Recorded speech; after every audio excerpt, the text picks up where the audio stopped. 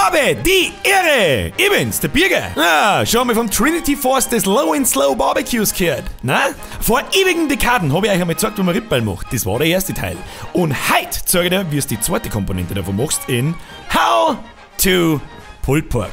Also, raus mit dem Grill und ab in Phase 1. Feinste Zutaten und Vorbereitung.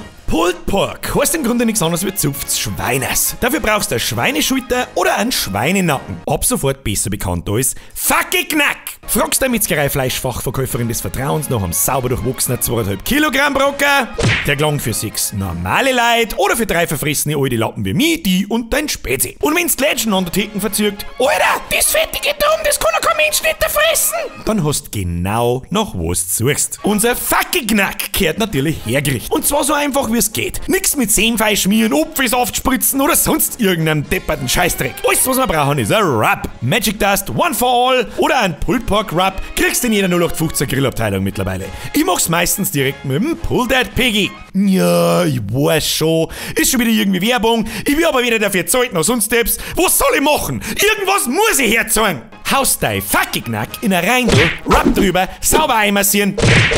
Passt. Das Fucky-Knack ist vor Haus aus ein wenig feucht. Spur den Witz. Nein, böser. Aus. Pfui. Ah, aus. Da pickt der Rap von selber. Dann deckst du es zu oder wickelst das Ei, ab in den Kühlschrank über Nacht und weiter geht's in Phase 2. Auf beziehungsweise einen Grill.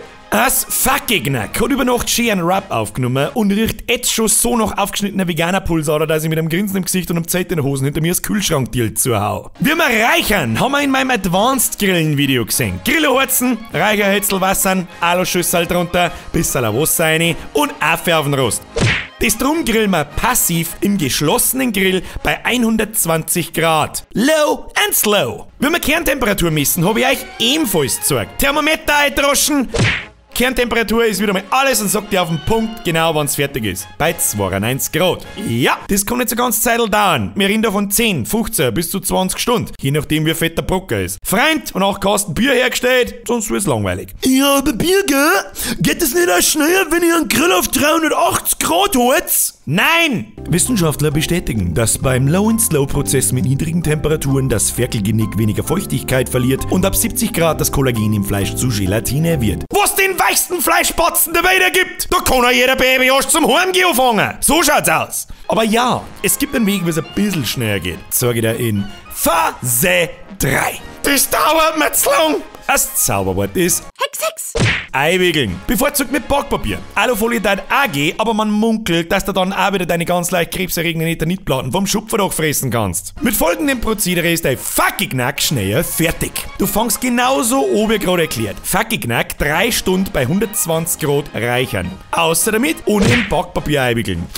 Zutacken oder zubinden haut da ganz gut hin. Thermometer nicht vergessen, sonst wissen wir nicht, wann es fertig ist. Dann wieder einen Grill und auf 150 bis 160 Grad heizen. Durch die Eibacklerei wirst bei relativ niedriger Temperatur auf 5 bis 6 Stunden fertig. Wenn die Kerntemperatur 92 Grad hat, haben wir fast fertig. Du hast das Ganze drum außer und lass das heraus nochmal so halbe die Stunde, Stunde ruhen. Aber dann, dann kommt da außer der God-Mode Fleischspatzen aus der heiligen Dreifaltigkeit des Low and Slow Grill Daseins. Backelst aus, tust das drum in eine Reinleine, nimmst da zwei Gabeln und zupfst das Fleisch auseinander. Und sauber mischen, damit sich der außen gewürzte Teil mit dem Innenleben vermischt. Bam, Alter! Und übrig bleibt der saftigste Fleischhaufer, den du jemals gesehen hast. Traditionell kommt jetzt der Fucky-Zupf in einen Burger-Bun mit ein wenig Coleslaw. Das ist ein amerikanischer Krautsalat. Mag nicht jeder. Kannst weglassen oder ein wenig Barbecue-Sauce dazu. Jeder, wie er mag. Einen guten Daddy-Song. Ich hoffe, wir haben jeden seiner Viertel Liter Säufer gewonnen und wir haben ein, zwei Zeiten in diversen Hosen aufgestellt. Wenn's der Tag tut, lasst schnell ein Like und ein Abo da, Glocken nicht vergessen, weißt du selber es ist. Und ich schlage mir jetzt der Metzgerei Fleischfachverkäuferin erklären, was ich mit Fucky Knack mein. Hat sich eine bis zum nächsten Mal. Habe die Ehre.